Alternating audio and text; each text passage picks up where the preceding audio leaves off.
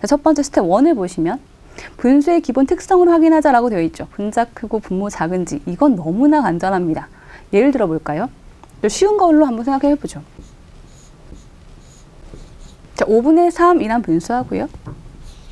6분의 2란 분수가 있습니다. 자, 이렇게 두 개를 비교했을 때 아마 누가 봐도 쉽게 어떤 게 더 큰지 확인이 어렵지 않게 보이실 거예요.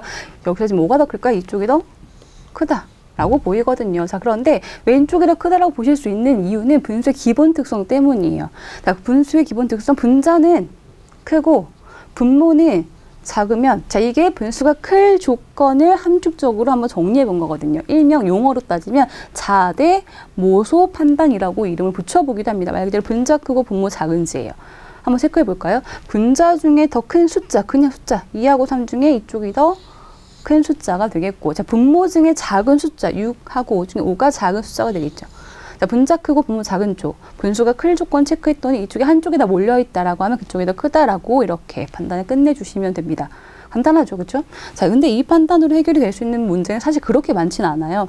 왜냐면 너무 쉽잖아요, 그죠? 그렇지만 이걸로 판단이 된다고 하면 그 다음까지 갈 이유가 없기 때문에 일단 이것부터 체크해 보시는 겁니다. 분자 크고 분모 작은 것이 한쪽에 몰려 있는가부터 한번 확인해 보시고 부등호 넣어 주시는 거예요. 그렇게 되어 있다고 하면.